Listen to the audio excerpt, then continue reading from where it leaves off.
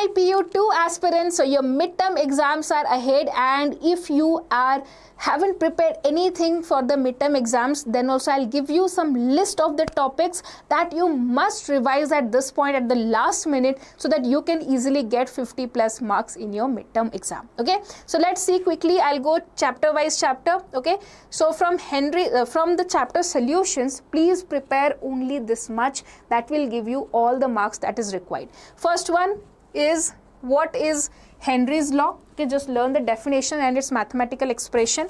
Similarly, Raoult's law and its mathematical expression. Difference between ideal solution, positive deviation and negative deviation, maximum and minimum Boiling azeotrope. Here also focus on examples. Okay.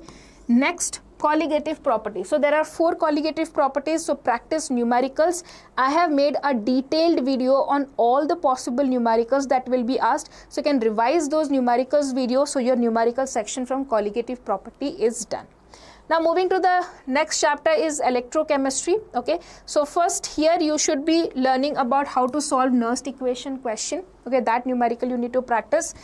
Numericals on Gibbs free energy. That is also important. Faraday's two law. Okay. Both the law, first law and second law, their definition, the terminology and their mathematical expression.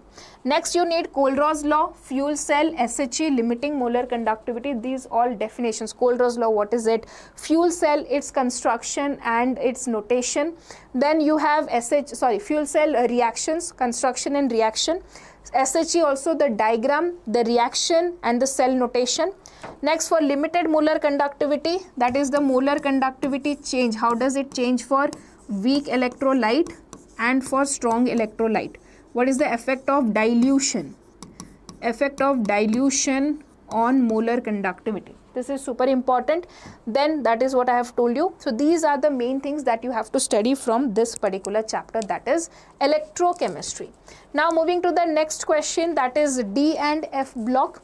Okay so d and f block here you have the following things to prepare. Very important why transition elements show catalytic activity why they have why they are colored compounds. I'll just add more here. Also you should learn about interstitial compounds okay what are interstitial compounds and what are their properties? So these are things that you have to remember preparation of KMnO4 and K2Cr2O7 very very important one of them will be definitely asked so please prepare these reactions thoroughly with balanced equations. Next, lanthanide contraction, super important and its consequences, at least two to three consequences you should know. What is magnetic moment and how to calculate the magnetic moment formula. Actinoids, what is actinoid contraction and why it is difficult to study actinoids. These are some important questions that you should keep in your mind. Now moving to the next chapter that is coordination compound. Yes, coordination compound first I will talk about uh, whether I have not uh, just a minute I'll add that one. So first you should be focusing on the first thing that is Werner's theory postulates of Werner's theory just remember three postulates are there first prepare that one okay? The second thing you should focus on is the nomenclature. Every any one question will be asked. Isomerism will be definitely a question will be asked from here. Then talking about this one VBT okay? Vividity of these four compounds is important but if you don't have time at least try to do this one which is having coordination number 6 COF6 and CONH3 whole 6 these two compounds hybridization magnetic property geometry everything should be clear. Okay this is not there. This is from DNF block. Next is very important d orbital splitting in octahedral and tetrahedral field. This is important next one. And after that this is not important. If you have time you can go through this.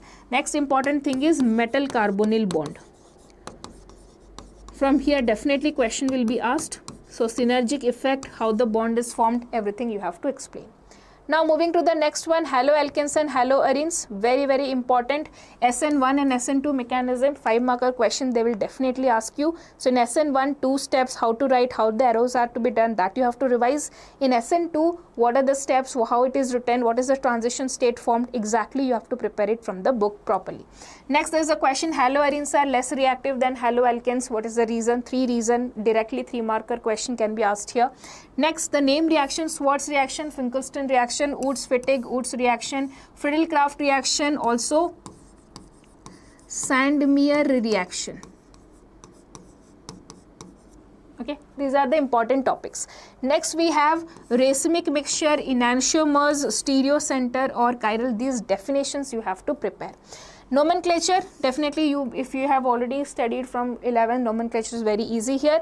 Isomerism is also very easy here. Okay now moving to the last chapter alcohols phenols and ethers. Let me tell you what all things very very important. Mechanism will be definitely asked here. So there are three mechanisms in this chapter. The first mechanism is preparation of or conversion of alkenes to alcohols.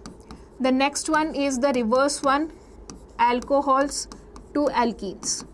Okay now the third mechanism which is not very popular but can be asked alcohols to ether okay? I can guarantee you that one mechanism out of these two will be definitely asked in a three marker question because it is five marker questions will be asked. Three plus two marker right? Two marker can be any name reaction. Three marker will be one mechanism. Now coming to the name reactions here you have williamson ether synthesis Kolbe's reaction cumene process uh, sulfonic acid preparation aniline Reimer Tiemann reaction. All these reactions please prepare properly. Then what is Lucas reagent? How it is used to distinguish between them? Reaction of copper at 573 Kelvin. So if you remember here primary alcohol will give you aldehyde. Secondary alcohol will give you ketone. And tertiary alcohol will not react. Okay? Then acidity order for alcohols is also asked here. Reactions of phenols and anisoles so especially in phenols which reaction? Bromination okay? Bromination and nitration okay? So when you use concentrated nitric acid we get picric acid right? So these reactions are super important okay? So that is there that you have to prepare in this particular chapter and yes that's all in this video. So i hope it's a very short video quick revision. So just go through this topic. If you do not have time to search these topics you can easily just google these topics just learn these topics and go to the exam. Okay? That's all in this video. Or you can just download the NCERT and just put control and f and just write down these terms. You will get into that page and then you can read that paragraph from your book. Okay? So that is the easiest way shortest way to revise all these topics. And i hope this video was helpful. If you have any further doubt doubt put down in the comment section. I'll definitely address to it. Thank you so much and all the best